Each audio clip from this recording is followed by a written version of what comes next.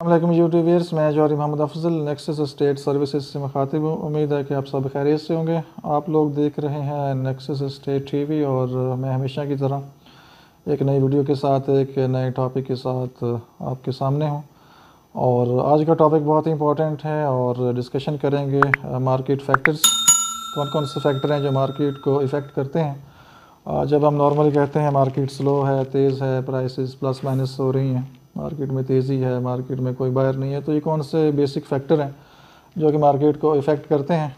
तो जो चीज़ें मेरे माइंड में हैं, मैं वो इंशाल्लाह आपसे शेयर करूँगा। हो सकता है इसके अलावा कुछ चीज़ें आपके माइंड में भी आ रही हैं, लेकिन जो मेरे माइंड में चीज़ें हैं, मैं वो आप तक शेयर करता हूँ इन और हमेशा की तरह रिक्वेस्ट है, जो नए लोग हैं, जिनका इंटरेस्ट रियल इस्टेट में है, सेल परचेज़ में है, इन्वेस्टमेंट में है, या कुछ सीखना चाहते हैं या फ्यूचर में रियल स्टेट फ़ील्ड में आना चाह रहे हैं और रियल स्टेट को ज्वाइन करना चाह रहे हैं तो वो वीडियोस को ज़रूर देखा करें। इसमें काफ़ी हेल्पफुल इन्फॉर्मेशन होती हैं आप लोगों के लिए। और अगर आप वीडियोस को मुकम्मल देखेंगे और जो भी चीज़ें मैं आपसे डिस्कस करता हूँ ये आठ दस साल का एक्सपीरियंस होता है, उस बेस पे चीज़ें आपसे शेयर हो रही होती हैं। और नए लोगों के लिए हेल्पफुल इन्फॉर्मेशन ज़रूर होगी। बाकी जो पुराने लोग हैं, जो इस फ़ील्ड में हैं, उनके लिए तो ये रूटीन की चीज़ें होंगी।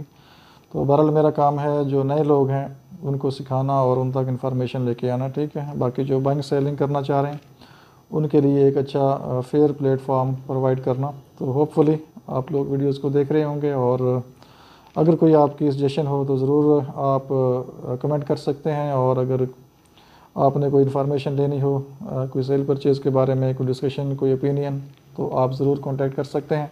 कॉल कर सकते हैं व्हाट्सएप कर सकते हैं, नंबर आपके सामने आ रहा होगा।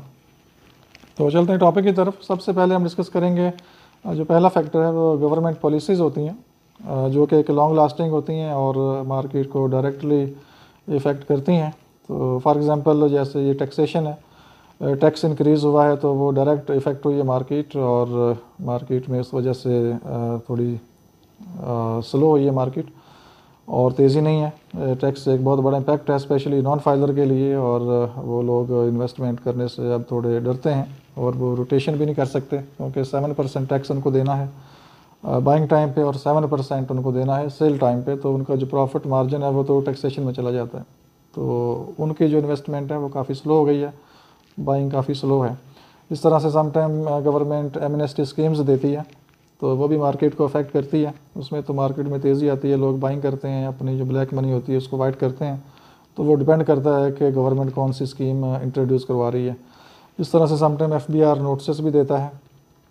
जो लोग फाइलर नहीं होते फ़र्स्ट टाइम प्लॉट ले रहे होते हैं तो उनको जब नोटिस जाता है एफ़ बी आर का तो वो बहुत घबरा जाते हैं कि पता नहीं अब क्या होगा। तो वो लोग भी डरते हैं। तो ये डिपेंड करता है कि गवर्नमेंट जो पॉलिसीज़ बना रही है, वो किस तरह की है, क्या वो मार्केट दोस्त पॉलिसीज़ हैं या मार्केट के अगेंस्ट पॉलिसीज़ हैं। तो वो डिपेंड करेगा कौन सी पॉलिसी है। बहरहाल गवर्नमेंट पॉलिसीज़ एक बहुत बड़ा फैक्टर है जो कि मार्केट को इफ़ेक्ट करता है। सेकंड नंबर पे पीपल्स हैं, उसमें बायर है सेलर है। तो ये भी डायरेक्ट इफ़ेक्ट करते हैं मार्केट को। अगर बायर ज़्यादा आ जाए मार्केट में तो डिमांड बढ़ जाती है, चीज़ें महँगी हो जाती हैं। और अगर सेलर मार्केट में ज़्यादा आ जाएँ बायर कम हो जाएँ तो प्राइसें कम हो जाती हैं। थोड़ी मार्केट रिवर्स हो जाती है। तो जो बायर सेलर हैं, ये भी बहुत ज़्यादा इफ़ेक्ट करते हैं मार्केट को। और ये जो इफ़ेक्ट होता है, ये शॉर्ट टर्म होता है। सम टाइम हवा चलती है सम टाइम तेज़ी मार्केट में आ जाती है बायर सेलर की वजह से सम टाइम स्लो हो जाती है। तो ये इतनी को लॉन्ग लास्टिंग नहीं होती। ये मैं समझता हूँ कि ये एक शॉर्ट टर्म होती है जो पीपल्स का फैक्टर है, ये एक शॉर्ट टर्म होता है। थर्ड नंबर पे सरकमस्टांसेस होते हैं। सम टाइम आप लोग देखते हैं मुल्की हालात, जैसे आजकल सम टाइम हो जाते हैं लॉन्ग मार्च की कोई कॉल आ जाती है या लॉन्ग मार्च समटाइम आ भी जाता है मार्केट में, ठीक है? रोड्स ब्लॉक हो जाते हैं। इस तरह से समटाइम लोग धरना दे देते हैं, रोड्स ब्लॉक हो जाते हैं, ठीक है? इस तरह से कोई और मुल्की मामला थोड़े से डिस्टर्ब हो जाते हैं अनस्टेबिलिटी होती है अनसर्टेनिटी होती है लोगों में तो ये चीज़ भी एक इफ़ेक्ट करती है मार्केट को।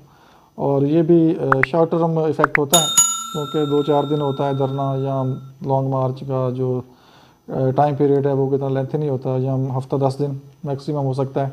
तो जब हालात नॉर्मल होते हैं तो लोग फिर बाइंग सेलिंग शुरू कर देते हैं। तो ये भी एक शॉर्ट टर्म इफ़ेक्ट होता है, और ये फैक्टर भी एक शॉर्ट टर्म है, और ये भी एक पाकिस्तान में कॉमन फैक्टर है। तकरीबन साल में एक दो दफ़ा ये ज़रूर एडवेंचर होता है, और कभी तो ज़्यादा टाइम पे भी ये हो जाता है। तो फोर्थ नंबर पे मैं डिस्कस करूँगा डिमांड एंड सप्लाई और ये भी बहुत बड़ा फैक्टर है, और बहुत इफ़ेक्ट करता है मार्केट को। अगर मार्केट में डिमांड ज़्यादा आ जाती है और सप्लाई कम है तो मार्केट इफ़ेक्ट होती है प्राइसें बढ़ जाती हैं। और अगर मार्केट में सप्लाई ज़्यादा आ जाती है डिमांड कम होती है तो भी मार्केट इफ़ेक्ट करती है और प्राइसें कम हो जाती हैं, ठीक है? तो ये अब डिमांड सप्लाई से क्या मुराद है? समटाइम बहरिया नई डील्स देता है, नए प्लाट्स देता है, ठीक है? नए सेक्टर्स अनाउंस होते हैं, नए प्लाट्स आ जाते हैं मार्केट में बल्क में। तो उस टाइम क्या होता है, जो अवेलेबिलिटी ऑफ़ प्लाट्स है, वो ज़्यादा होती है मार्केट में, लोगों के पास चॉइसेस होती हैं तो लोग जो हैं, वो फिर इन चीज़ों की तरफ़ आते हैं। और जो पोजेशन प्लाट्स होते हैं, उस तरफ़ को डिमांड कम हो जाती है, या सेमी डेवलप प्लाट्स की डिमांड कम होती है तो मार्केट का जो रेट है, वो थोड़ा डाउन हो जाता है रिवर्स हो जाती है। मार्केट स्लो आप कह सकते हैं, हो जाती है, और जो बाइंग सेलिंग ज़्यादा है, आपकी वो जो न्यू प्लाट्स हैं, उस तरफ़ को चली जाती है। और इस तरह से अगर नई डील्स नहीं आती, नए सेक्टर्स नहीं आते मीन्स सप्लाई नहीं है प्लाट्स नए अनाउंस नहीं हो रहे। पुराने सेक्टर्स हैं, पुराने प्लाट्स हैं, और वही सेल परचेज़ हो रहे हैं तो मार्केट ऊपर चली जाती है रेट्स बढ़ जाते हैं, क्योंकि वही प्लाट्स बार बार रीसेल हो रहे होते हैं, और जो डिमांड है, वो ऊपर ही रहती है, नीचे नहीं आती। तो ये कुछ फैक्टर्स थे जो कि मेरे माइंड में थे, और मैंने कहा कि आप लोगों तक ये चीज़ें शेयर करते हैं। हो सकता है आप, आपके माइंड में इसके अलावा और भी चीज़ें हों। और कुछ नए लोगों के पास कुछ भी ना हो और उनके लिए ये एक वीडियो हेल्पफुल हो सकती है। तो डेफिनेटली आप लोग इसको लाइक करेंगे और जो चीज़ें मैंने डिस्कस की हैं, आप लोग एग्री करेंगे। और अगर कोई आपके पास इंफॉर्मेशन है या कोई आप सेशन देना चाहते हैं तो आप ज़रूर कमेंट कर सकते हैं। तो जो मेरे पास इंफॉर्मेशन थी, मैंने आपसे शेयर की है। तो दुआ में याद रखिए, अपना बहुत सा ख्याल रखें। अल्लाह हाफिज़।